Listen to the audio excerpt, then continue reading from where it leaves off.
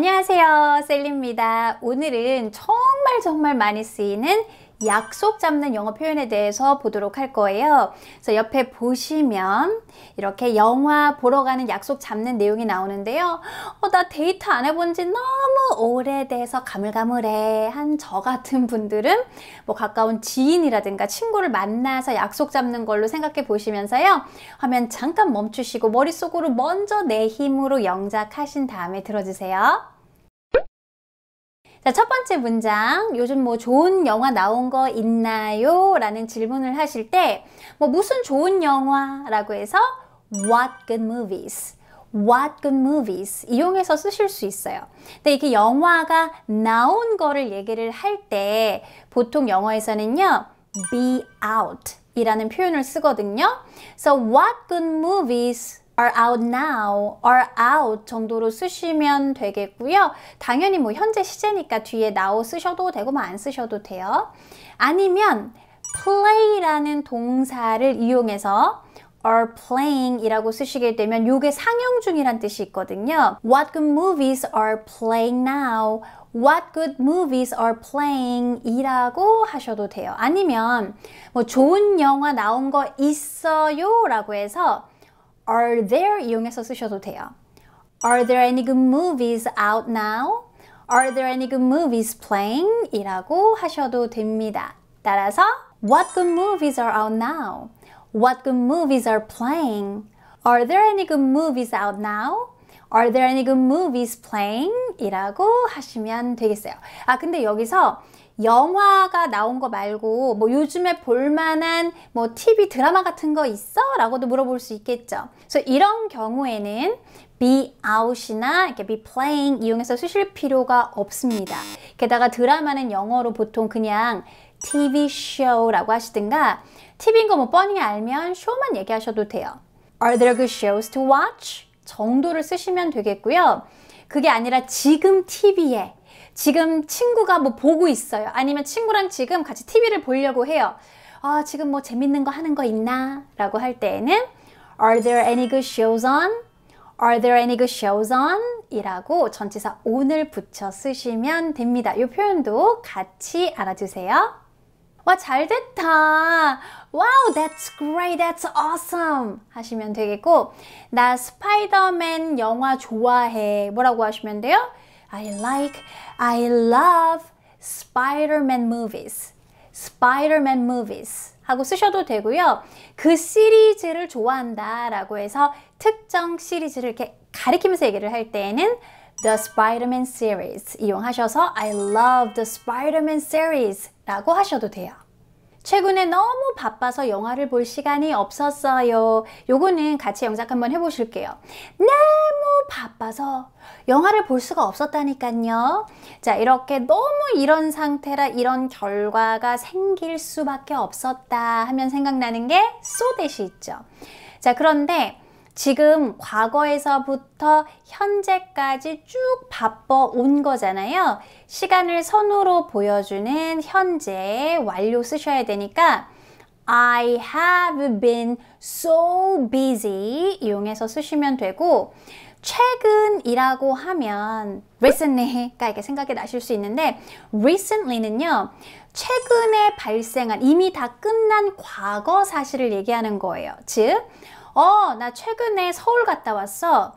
I recently visited Seoul. I recently visited Seoul. 요럴 때 쓰시는 거고 이렇게 과거에 일어났던 일이 현재까지 계속 이어지거나 영향을 끼칠 때에는요. Lately를 이용해서 쓰시는 게 맞는 표현이 돼요. 너무 바쁜 상황이 현재까지 이어져서 지금도 영화를 보지 못한 상태가 계속 된 거니까 lately 이용해서 쓰시고요. 자, 결과는 대 생략 가능하고 뒤에 완벽한 문장 와야 되겠죠. 영화를 볼 시간이 없었던 것도 그 바빠진 시기부터 현재까지 계속 이어진 거니까 현재 완료 이용하셔서 I have pp 이용해서 쓰시는데요. 부사를 이용해서 이렇게 동사를 꾸며 주셔도 되고 아니면은 어, 형용사를 이용해서 형용사 know를 이용해서 I have had no time 이라고 쓰셔도 괜찮아요. 자, 뭐 시간이 전혀 없었다 강조하시려면 any 뭐 넣어 주셔도 됩니다. 자, 그런데 시간은 시간인데 뭐 할 시간이에요? 영화를 볼 시간. 특히 영화관에 가다라고 할 때에는요. Go see a movie. 원래대로 하면 go to see가 되는데 특히 회화에서는 요 to 보통 생략 많이 하거든요. go see a movie 라고 하시면 되고 수거로 영화관에 영화 보러 가다 라고 하면 생각이 나는 것이 바로 go to the movies 라는 게 있어요. 얘는 수거기 때문에 굳어진 형태 늘 더가 들어가야 되고요. 늘 복수를 이용해서 쓰셔야 됩니다. 따라서 I've been so busy lately, I haven't had any time to go see a movie. I've been so busy lately, I've had no time to go see the movies. 라고 하시면 되겠습니다.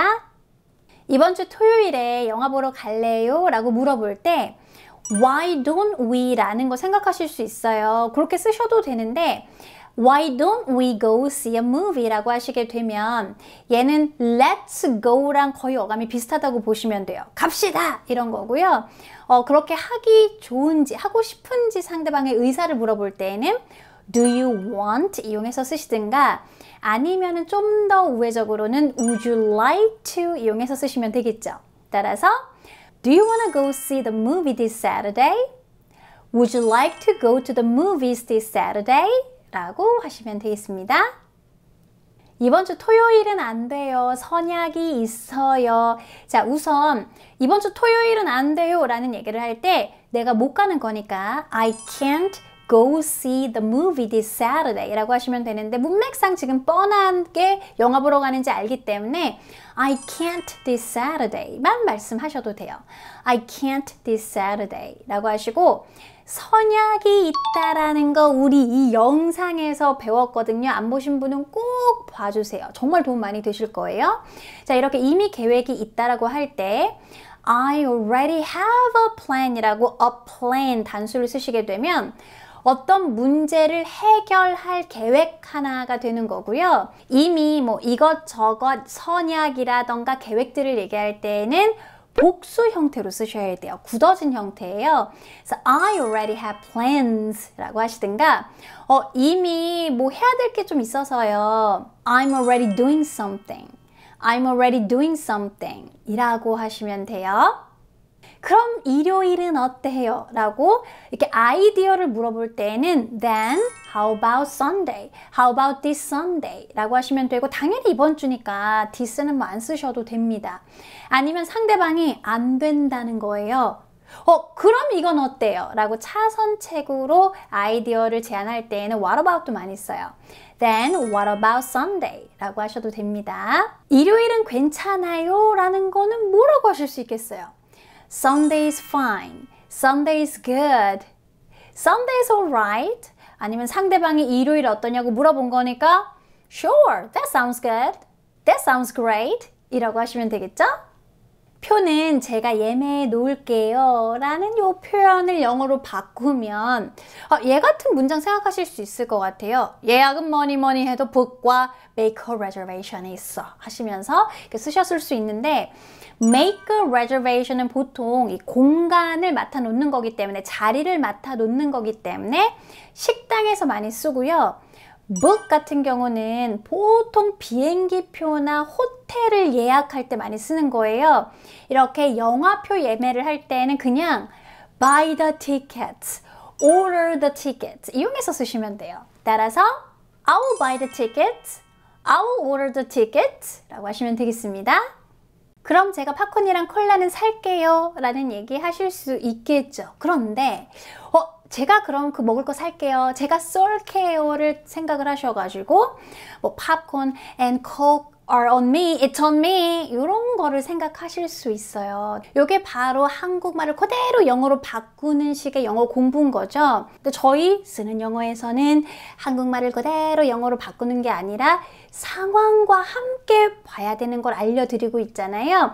자 이렇게 it's on me, dinner's on me 이런 식으로 내가 쏠게라고 할 때는 식사나 먹을 거를 초대할 때 쓰는 게 아니라 그 자리에서 돈을 낼 때, 결제를 할 때 하는 말이에요. 다 먹고 난 다음에, 어, 이거는 내가 살게. 어, it's on me. 이럴 때 쓰는 거고, 미리 초대를 할 때에는 쓰지 않습니다. 그냥 뭐라고 하시면 돼요?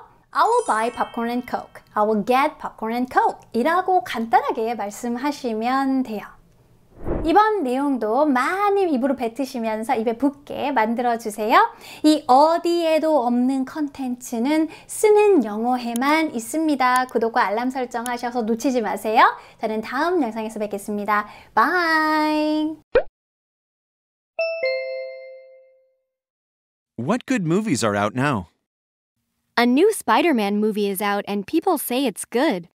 Wow, that's great. I love Spider Man movies. I have been so busy lately that I haven't had any time to go see a movie. Do you want to go see the movie this Saturday? I can't this Saturday. I already have plans. Then how about Sunday? Sunday is fine. I will buy the tickets. Then I will buy popcorn and Coke. What good movies are out now? A new Spider Man movie is out and people say it's good. Wow, that's great. I love Spider Man movies. I have been so busy lately that I haven't had any time to go see a movie. Do you want to go see the movie this Saturday? I can't this Saturday. I already have plans. Then how about Sunday? Sunday is fine. I will buy the tickets. Then I will buy popcorn and Coke.